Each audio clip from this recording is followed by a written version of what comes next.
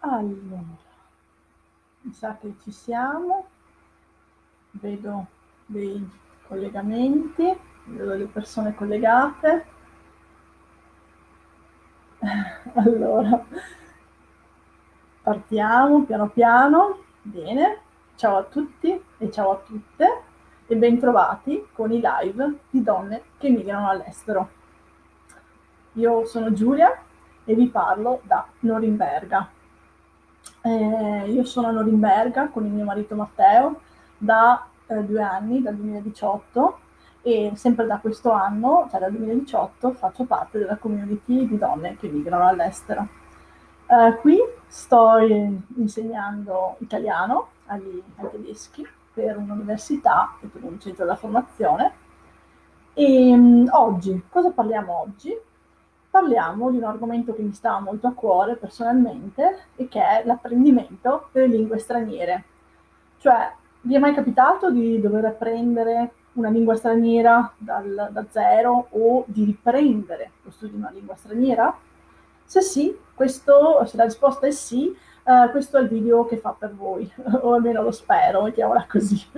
Allora, eh, nel senso che l'argomento sarà appunto l'apprendimento delle lingue, quali sono le molle e quali sono anche gli ostacoli che si possono incontrare in questo percorso, perché purtroppo c'è sia uno che l'altro, purtroppo per fortuna. E, um, ovviamente questo è basato un po' sulla mia esperienza.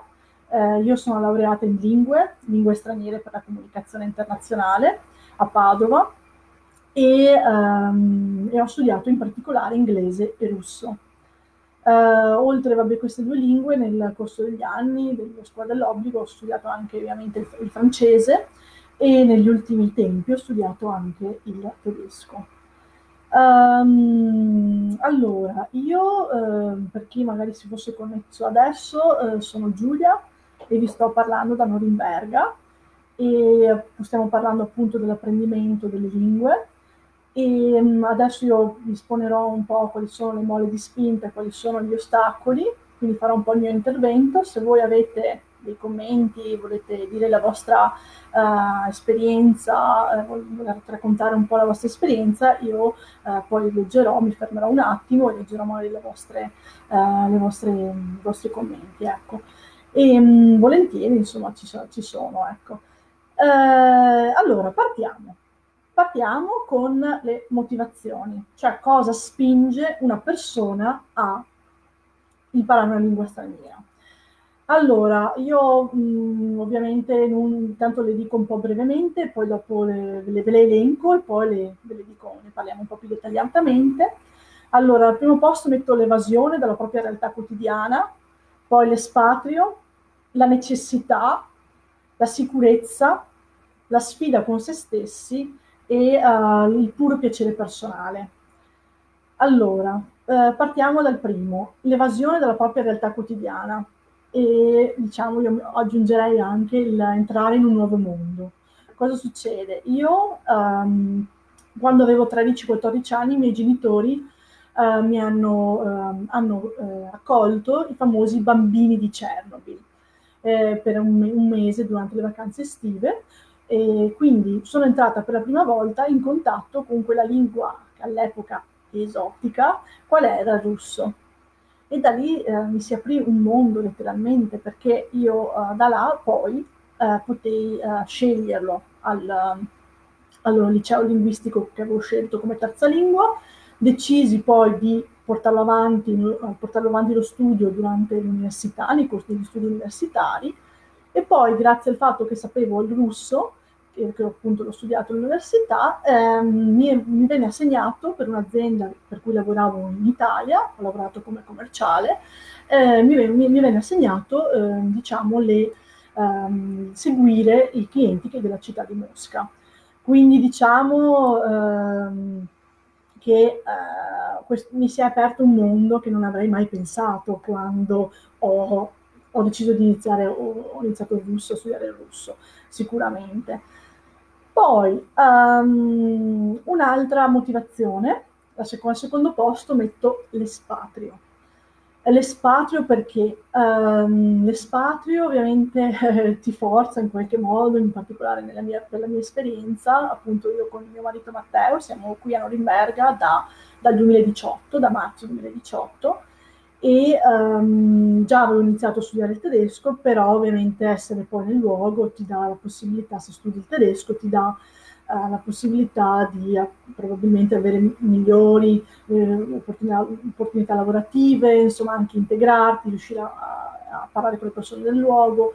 E poi a me accade anche un evento, diciamo, abbastanza scioccante, eh, ero due, due, mesi, ero arrivata da due mesi e mi, trovavo in un ufficio pubblico e una ragazza mi, uh, mi disse guarda che non, non, riuscivo ancora bene a comunicare in tedesco per nulla direi, anzi ero molto, eh, avevo delle diffic- serie difficoltà e eh, alla mia richiesta se, questa, se potevo parlare con qualcuno in inglese, questa ragazza, che mi ricorderò ancora, era più giovane di me, avrà avuto 25 anni, farla grande, eh, mi disse qua siamo in Germania e si parla tedesco. Fu una, proprio un bel bam, eh, diciamo proprio eh, forte, bella, un bel pugno in faccia, devo dire, che però fu anche una motivazione che mi disse Giulia, concentrati, impara il tedesco che così poi non, farai, non avrai più queste esperienze. Um, ecco, quindi diciamo una, l'espatrio. Poi la terza ehm, diciamo, motivazione che io vedo per cui si può imparare le lingue, si può imparare una lingua straniera, è la necessità. Necessità perché, per esempio, eh, si vuole ampliare le prospettive del proprio, lavoro, del proprio lavoro attuale o di uno futuro. Cioè, nella mia situazione in particolare, mia, per la mia esperienza in particolare, io ehm, nel 2015 decisi da sola, da autodidatta, di eh, voler imparare il tedesco perché volevo ampliare eh, diciamo il bacino di utenza, chiamiamolo così. Io lavoravo appunto come commerciale, quindi mm, parlavo in inglese e in russo perché avevo, eh, conoscevo queste lingue, ma volevo anche rivolgermi a un mercato tedesco, eh, diciamo germanofono, germanofono. E quindi decisi di imparare il tedesco. Ma ehm, e, qui, e, quindi questa fu una necessità, diciamo, per, per quanto mi riguarda. Dopo, dopo, più avanti, vi spiegherò un attimo cosa, cosa è successo con, questa, con, questo mio studio da autodidatta, come è andata a finire. E ehm, poi, eh, come quarta motivazione, eh, ho, di, vorrei dire la eh, sicurezza quella che eh, diciamo ha chiamata mio marito un'assicurazione per il futuro, cioè il brand di mio marito è un suo un modo di dire, perché appunto diciamo citando un po' la sua esperienza ehm, si era creato un, un, piano B, il famoso piano B, cioè sostanzialmente lui lavorava per un'azienda in Italia, questa azienda, il partner principale di questa azienda in Italia era ehm, la Germania, quindi quando si trovò nella volontà, necessità di studiare una lingua straniera, decise di studiare il tedesco, perché era il partner commerciale, ma anche perché ehm, non, si sa, non, si saprebbe, non, si sapeva mai, cioè nel senso mh, poteva essere che se le condizioni fossero cambiate all'interno della sua azienda, eccetera, avrebbe magari potuto riciclarsi, diciamo, in, in Germania e così effettivamente fu. Quindi è l'importanza di avere diciamo, una exit, strategy, una, un piano B. Um, poi al quinto posto metterei la sfida con se stessi. La sfida. Uh, la sfida con se stessi io direi il, uh, a me viene in mente quando uh, all'università appunto studiai, studiare lingue inglese e russo e um, praticamente mi, in realtà io volevo studiare invece che il russo, volevo studiare il francese perché ero appena stata, da, ero appena tornata da un um, stage diciamo all'estero e uh, mi piaceva tanto il, il, francese, volevo tornare a vivere eccetera, poi non è successo e um, ma cosa succede? Cosa succede?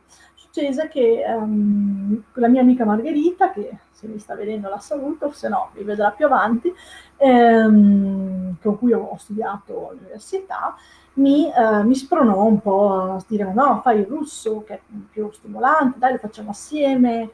E ho lato mi guardai un po' allo specchio e dissi sì, in effetti eh, cioè il russo sicuramente è molto più, eh, diciamo, stim- non stimolante, però un po' più difficile rispetto al francese da studiare. E quindi mi dissi facciamolo, sfidiamo, affrontiamo questa sfida e, e la, la, vinsi, insomma, diciamo che riuscì a imparare il russo. E di questo non sono per nulla eh, pentita, anzi, appunto, come dissi prima, mi ha aperto il mondo, un mondo eh, a studiare il russo, quindi devo dire che posso solo ringraziare questa, di aver fatto questa esperienza, essere molto, molto, eh, sono molto contenta.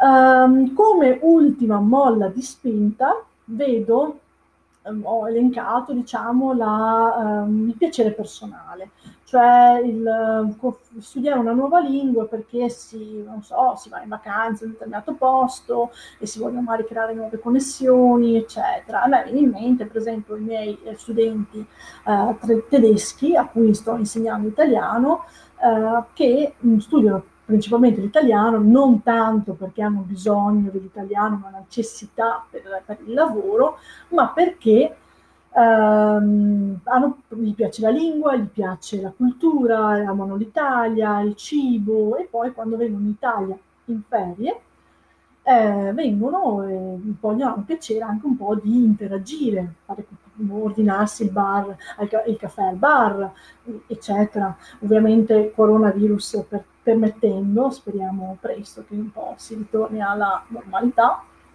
E, e insomma, questo un po'. È, e questo sicuramente è una, una, cosa che ho scoperto un po' qui, ecco, magari il, il, il scoprire, diciamo, imparare una lingua straniera per puro piacere. Ecco.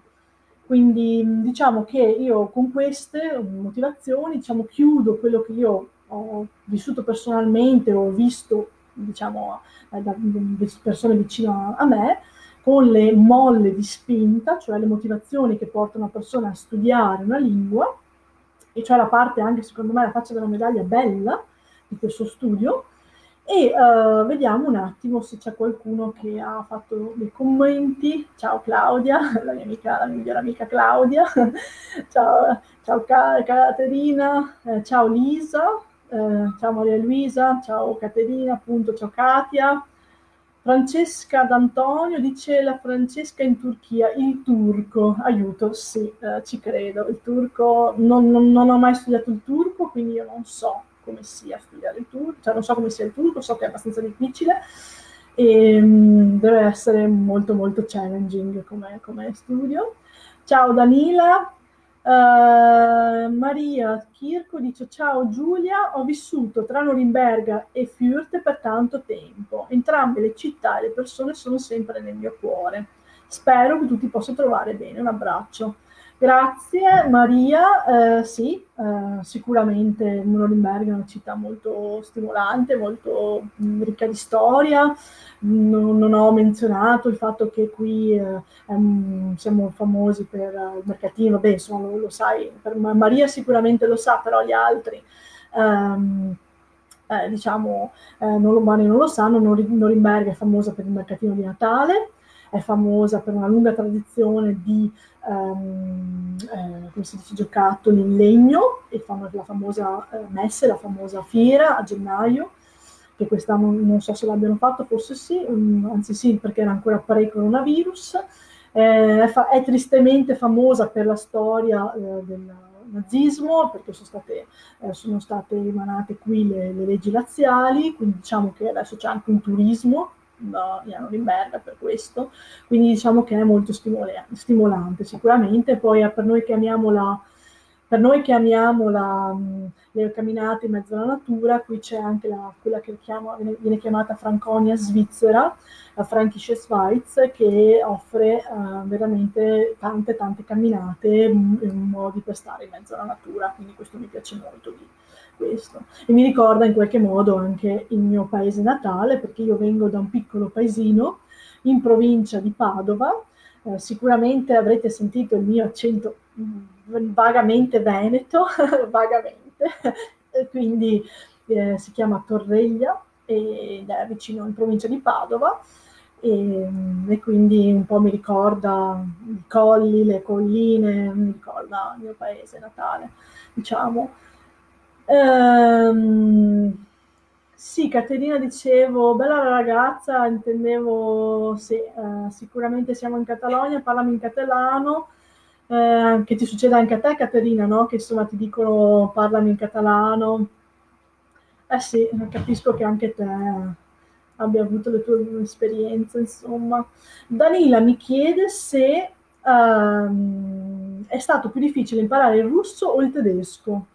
Uh, il russo, perché il russo è stato quello che ha la prepista, diciamo, perché il russo l'ho imparato appunto, come dicevo, all'università e il russo ha sei casi, il russo ha un alfabeto diverso, la, lo riprenderò più avanti questo discorso negli ostacoli, appunto, però decisamente più il, il russo. Se devo vedere, lo so che diciamo forse dirò una cosa che non è propriamente, eh, che, però non, eh, il, il russo è sicuramente più difficile rispetto al tedesco per quanto mi riguarda. E, mm, e, niente, ciao Giulia, quando leggo l'ultimo commento, ciao Giulia, quando hai deciso che era il momento giusto per trasferirti in Germania, mi chiede Serena Genovese e come hai iniziato a insegnare italiano. Eh, ma in realtà il momento giusto non è che l'abbiamo deciso, è arrivato, semplicemente eh, siamo, ci siamo trovati in una situazione in cui mh, mm, lui, mio, mio marito, quello che all'epoca era mio compagno e adesso mio marito, si è uh, ricevuto un'offerta molto allettante qui in Germania e ci siamo guardati negli occhi abbiamo visto messo sulla, sulla bilancia i pro e i contro e i, i, pro erano nettamente a favore e quindi abbiamo deciso eh, molto a malincuore, devo essere sincera, non, ero, non è che non ero molto eh, particolarmente um, convinta, devo essere sincera, però alla fine eh, ne valse la pena, ecco, sicuramente almeno tentare, poi non si sa mai come andrà a finire, cioè la vita ti porterà, ci porterà sicuramente eh, magari altre cose, però eh, intanto siamo qua. E per quanto riguarda Serena la domanda come ho iniziato a studiare, a insegnare italiano, vorrei dire per caso. Eh, su Facebook ho visto eh, che c'era un, si chiama Bildungszentrum qui a Norimberga, e, ehm, praticamente loro eh, offrono molti corsi di svariato tipo eh, e quindi vedevo, ho visto che cercavano un insegnante di italiano o insegnanti di italiano al plurale, non ricordo. Io ho mandato il mio curriculum ehm, anche perché ero appena arrivata e ho iniziato da, mm, dopo sei mesi, insomma doveva ripartire l'anno, diciamo da settembre. E quindi per caso, un po' per... Uh, un po' per connessioni, poi ovviamente comunque conosci persone, quindi eh, ti, ti, ti, magari dopo all'università tramite una conoscenza. Ecco. Attualmente faccio questo e poi vedremo appunto, sì, la, la, vita è, è, ancora lunga, speriamo. ecco. Allora, eh, mi fermo un attimo con le domande e vado, a, vado avanti con, con, le, con, il secondo, diciamo, con la seconda parte che può interessare anche agli altri, che può interessare ovviamente a tutti, eh, sugli ostacoli, perché abbiamo visto la parte eh, bella, la faccia bella della medaglia, cioè di quando si, si, la spinta, ciò che ti motiva, voglio fare questo, l'obiettivo, eccetera, ma adesso c'è anche la parte meno bella eh, della medaglia, eh, nel senso che quando si intraprende questo percorso ci sono, possono essere delle insidie, non vuol dire che sempre ci saranno, sempre ci sono tutte, ma ci possono essere. Uh, io ne ho identificate 5, 6. Uh, la mancanza di obiettivo, la manca di un obiettivo, la mancanza di, cost- eh, di una motivazione, la mancanza di tempo, l'incostanza, eh, la lentezza con cui si vedono i, i progressi che si fanno e le difficoltà oggettive e soggettive, appunto mi ricollego alla domanda di Danila, ehm, della, della, lingua e della persona, cioè le difficoltà della lingua oggettive e soggettive della persona. Allora, partiamo con il primo. Uh, il primo ostacolo appunto è l'obiettivo. Sì, per chi si fosse connesso adesso, vi faccio un attimo un refresh, mi chiamo Giulia, e siamo, sono qui a Norimberga e stiamo parlando appunto degli ostacoli. che si possono incontrare, non necessariamente devono, ma si possono incontrare nell'apprendimento di una lingua straniera. Partiamo con il primo, eh, la mancanza di un obiettivo. Eh, un obiettivo chiaro, de- definito, stabilito, chi ha fatto coach- coaching ha presente di cosa sto parlando. Sicuramente se non si ha un'idea eh, perché si vuole studiare una, una lingua straniera, eh, è difficile, diventa difficile poi soprattutto anche avere la seconda eh, parte importante che è la motivazione per studiare, perché appunto ehm, quando non si, non si, ha un obiettivo chiaro la motivazione tendenzialmente è bassa. Se invece si ha un obiettivo chiaro, misurabile, concreto, ehm, è più facile avere una motivazione, anche sviluppare la motivazione. E quindi questo, quindi diciamo io metterei lo stesso, nello stesso punto, diciamo nello stesso, nello stesso posto, eh, mancanza di un obiettivo e anche mo- la mancanza di motivazione, che vanno un po' par- di pari spasso in qualche modo. Poi, um, come terza, uh, terzo possibile ostacolo, vedo la mancanza di tempo eh, siamo tutti molto impegnati, vabbè adesso è un momento un po' particolare, siamo in quarantena, c'è la coronavirus, però di solito siamo tutti abbastanza eh, di fretta, eh, chi magari lavora in full time, poi ha bambini, una famiglia, la sera è stanco, il weekend vuole sicuramente eh, e anche giustamente riposare e quindi non è facile incastrare anche questo perché io mi sto rivolgendo più a uno studio della lingua che non che esula un po' dal, dallo studio di una lingua durante la scuola dell'obbligo, diciamo è più uno, uno studio di una lingua quando si è un po' più maturi, diciamo. Quindi quando si, questa, quando si è in queste situazioni, diciamo, l'importante è avere un po' un piano, avere un progetto, eh, diciamo, crearsi un'abitudine che diventa una costanza, perché poi appunto l'abitudine ti crea ehm, ti previene da che, dalla, dall'altro possibile ostacolo, il quarto ostacolo, che vedo che è l'incostanza. Cioè l'incostanza, io eh, non sono la persona più costante di questo mondo, anzi, però eh, cerco di darmi delle, delle, regole, cerco di mettermi delle, dei paletti, insomma cerco di, di organizzarmi magari la, la giornata, la, la, settimana, in modo tale da trovare un buco per questo, questo, per questo obiettivo magari, che è lo studio della lingua.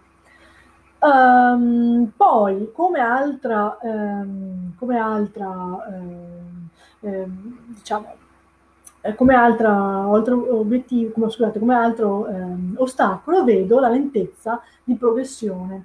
Cioè, una, per, quando si studia una lingua non si impara dall'oggi al domani, come qualsiasi cosa ci vuole tempo. Um, ci vogliono, per esempio per me, per, per, imparare il tedesco mi ci sono voluti un po' due annetti uh, imparare, poi ovviamente sono ancora eh, nel processo di imparare la lingua, quindi non, non, non, è mai finita, ecco, non è che ho finito, però diciamo da passare da non so parlare a so comunicare, diciamo mi ci sono voluti due anni buoni e quindi capite bene che due anni sono un lasso di tempo abba- molto, molto importante, quindi bisogna avere anche eh, diciamo un po' di pazienza perché appunto i progressi si percepiscono eh, molto lentamente. E se una persona appunto eh, non magari non, non, non um, non, non, capisce questo, magari un po' si demotiva, ecco, perché appunto ci vuole un po' di pazienza in questo senso, e, perché sennò diventa molto demotivante.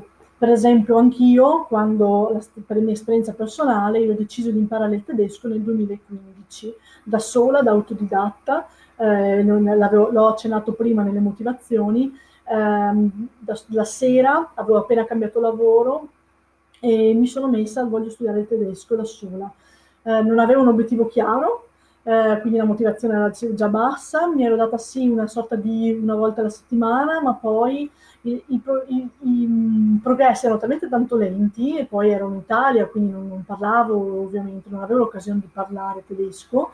E quindi alla fine, dopo quattro mesi, ho lasciato perdere, ho detto basta, no, non, non vado avanti. E, e infatti, ehm, e poi si è ripresentata l'occasione di studiare il tedesco quando abbiamo deciso di emigrare, di espatriare. E, um, ecco, poi come, ultima, eh, come ultimo ostacolo io vedo, quello che ho chiamato io, la, le difficoltà oggettive e soggettive. Cioè, eh, cosa intendo? Le, le, difficoltà soggettive sono, oggettive, scusate, sono quelle della lingua target che si decide di studiare. Cioè, um, io, um, la lingua, um, ci sono oggettivamente lingue più semplici, ci sono lingue eh, ogni lingua, partiamo da questo presupposto, ogni lingua ha, sua, ha, le sue complessità. I miei studenti che stanno studiando adesso italiano si rendono conto che a certo, un livello alto l'italiano è molto, molto complesso.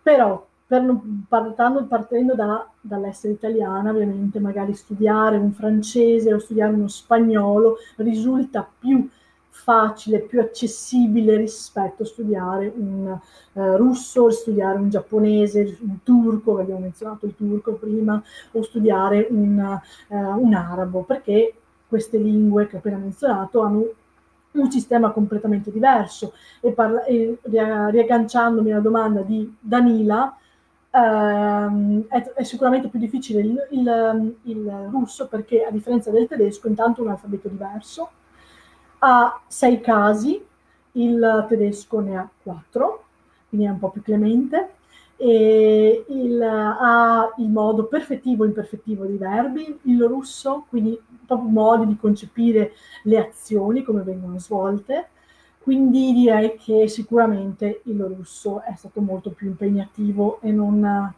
e, e, quindi ovviamente una persona che quando io ho scelto il russo, deci, ho deciso all'università di, di, portare avanti il russo, sapevo che, che, sarebbe stata tosta, non sarebbe stata una passeggiata, ecco, diciamo. Quel, eh, diciamo avrei dovuto, insomma, eh, diciamo, spingere, avere molta motivazione.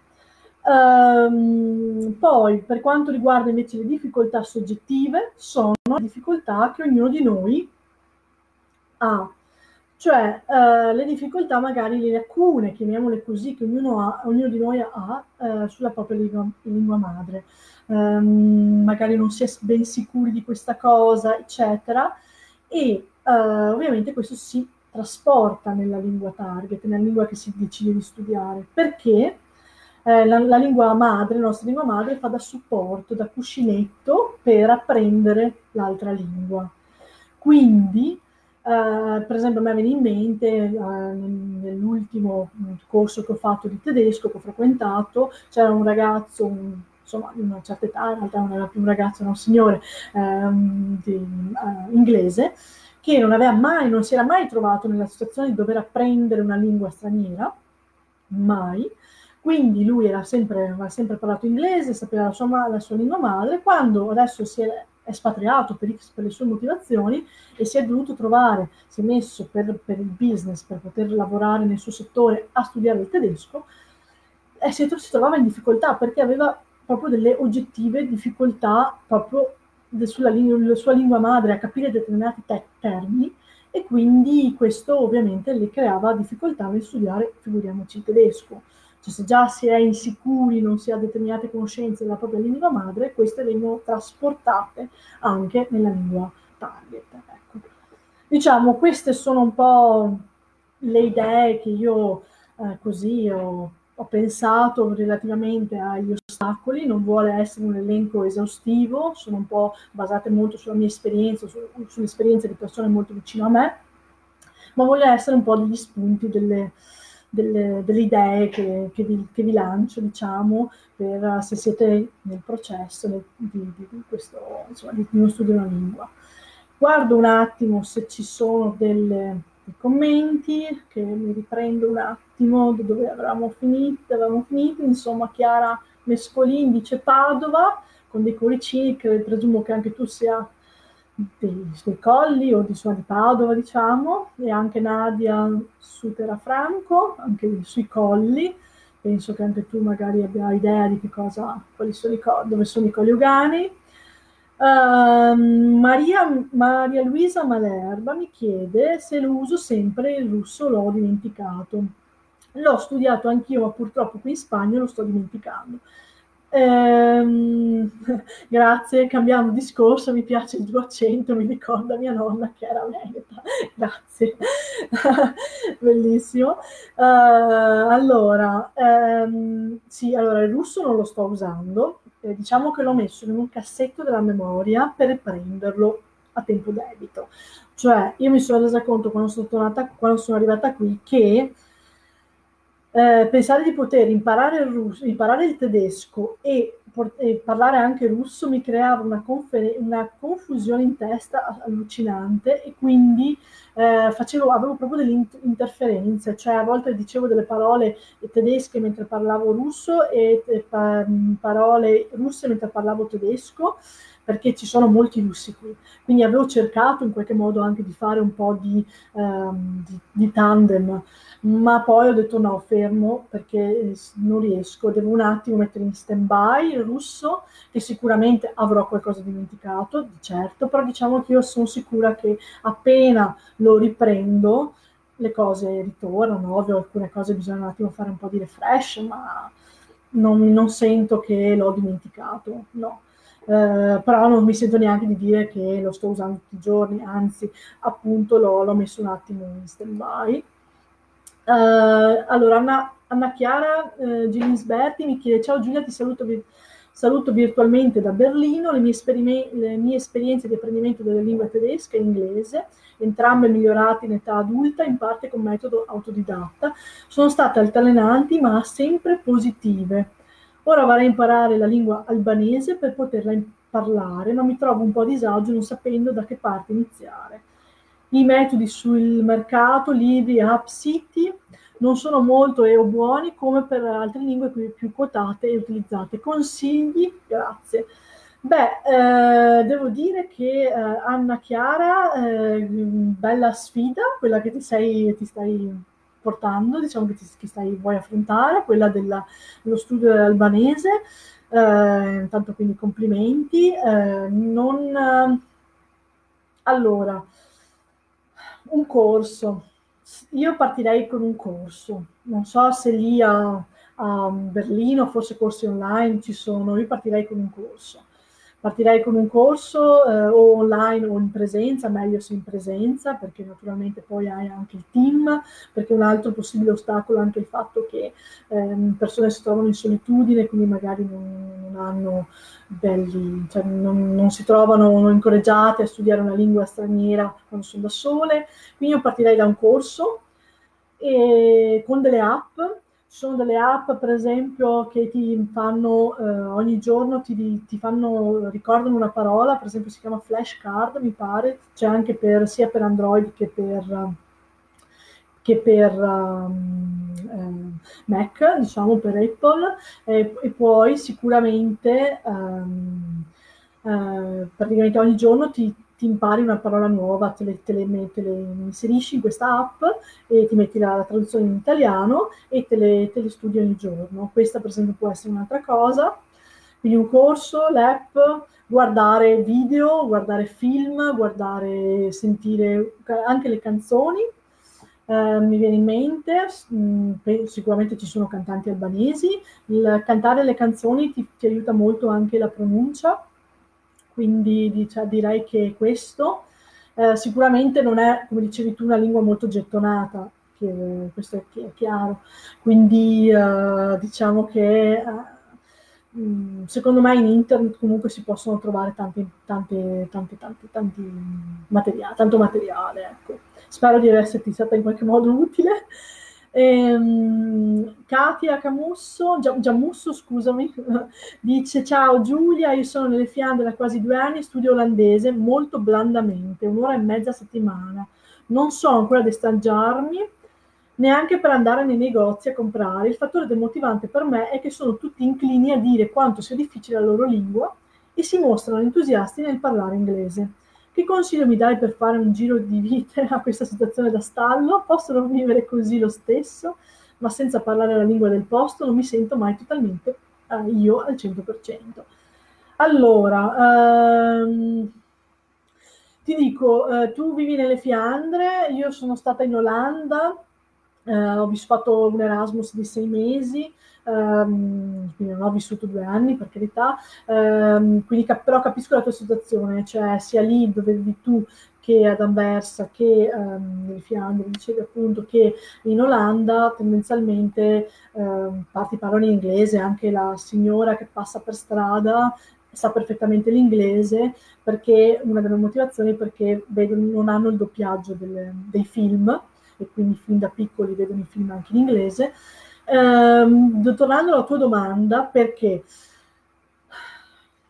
io guarderei, proverei a guardare qualche serie, eh, proverei a guardare qualche video in internet. Per esempio, in, quando ho iniziato a studiare eh, tedesco, si chiamava eh, Nikos Beck, che però appunto è per il, tede- per il, tedesco, ma secondo me c'è anche per l'olandese, perché comunque non, in qualche modo è una lingua che viene studiata, um, puoi trovare dei, dei, puoi trovare dei uh, mini corsi fatti a video però. Cioè praticamente hai divisi per livello A1, A2, eh, B1, B2 e puoi trovare eh, delle, secondo me, ti può essere d'aiuto perché se poi non lo usi, lo stai facendo in maniera molto blanda, la motivazione effettivamente un po' uh, cade, ecco, uh, è, rischioso. Quindi io guarderei un po' in internet se riesci a trovare dei mini corsi uh, con i video. Um, ci sono, almeno per il tedesco ci sono, quindi secondo me ci sono anche per l'olandese, um, divisi in cui vedi praticamente come vedere una miniserie per l'olandese quindi diciamo che um, così. Uh, poi la mia migliore amica Claudia dice bella e brava, grazie, sei di parte, però grazie. allora, eh, allora, io diciamo che se non ci sono altri, mi sembra di aver risposto, visto un po' i commenti. E, intanto quindi volevo passare diciamo, lentamente verso la conclusione di questo, di questo live. Allora, eh, quello che voglio dirvi e che spero di avervi trasmesso con questo live è che um, lo studio di una lingua straniera è in qualche modo avere, diciamo, la, una conoscenza di una lingua straniera è come avere una chiave in mano, un'ulteriore chiave in mano che non sai mai quale porta ti può aprire. A me non, avrebbe mai, non avrei mai pensato che il russo mi avrebbe portato così distante. Uh, dalla, dal, dal, sentirlo la prima volta dai bambini di Chernobyl per poi eh, andare fino a Mosca e, e eh, affrontare diciamo business dei, diciamo B2B business con russi non avrei mai pensato. Quindi eh, diciamo che ti apre un mondo per, per, quanto mi riguarda e penso che posso parlare un po' diciamo, più generalmente e posso solo che consigliarla, anche perché eh, quando si parla in una lingua straniera si è un, un'altra persona, in qualche modo si entra in un mindset diverso, si parla in maniera diversa, si usa un accento diverso, si usa una, delle parole diverse, e quindi è un'esperienza in qualche modo molto, molto bella, che posso solo con, consigliare. Ecco, Um, diciamo che quello che io volevo mm, per, per, chiudere, insomma, mi sembra che non ci siano altri commenti per il momento. Comunque, se avete dei commenti, volete mm, dire, mm, raccontare la vostra esperienza, eccetera, potete tranquillamente scriverlo nella, nei commenti. Io o anche in forma privata vi risponderò. E comunque verrà, si tiene questo video nella pagina di donne che mi chiamano all'estero. Um, vi invito a continuare a guardare i nostri live eh, ce ne sono diciamo con scadenza abbastanza anche, anche la prossima settimana e anche se i video che sono già stati fatti li potete sempre trovare nella pagina di donne che migrano all'estero, ci sono di svariati temi, quindi ognuno può trovare diciamo, quello che fa per, per, per lui o per lei, quindi non, senza, senza problemi. E mm, voglio anche ringraziare insomma non solo eh, Katia, la nostra eh, la founder, la fondatrice di Donne che migrano all'estero, eh, che ci sprona sempre a, con queste nuove attività molto, molto, molto stimolanti, ma anche tutte le altre tutte le persone che comunque con, che ho conosciuto o che magari non ho ancora conosciuto, chi personalmente, chi, chi solo virtualmente, eh, di far parte di questa comunità di donne che ci sproniamo eh, a vicenda, in qualche modo ci aiutiamo, ci, sempre in maniera molto costruttiva e quindi um, sono felice insomma, di far parte di questa comunità, di questa community online, virtuale. E, e niente, io da Norimberga eh, vi saluto eh, calorosamente, vi mando un abbraccio, un bacio, eh, io spero tanto di poter tornare presto in Italia ehm, e spero anche, anche voi possiate ritornare alla, alla vita vostra normale e che l'apprendimento della, della, lingua che avete in mente vi porti, vi apra un mondo che non credevate.